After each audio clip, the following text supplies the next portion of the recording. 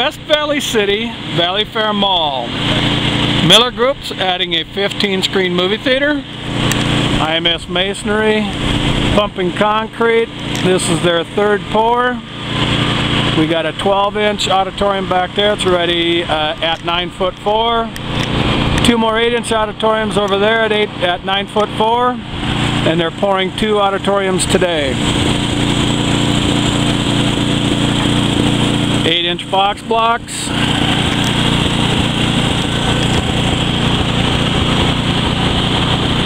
Built-in tees, that was one of the reasons they decided to go with Fox on this one. They didn't have to build their own tees. Double mat of steel, number 6 bars, about 10 inch centers, double horizontals at 16 inch centers. 30 yards of concrete today, probably take them about two and a half to three hours.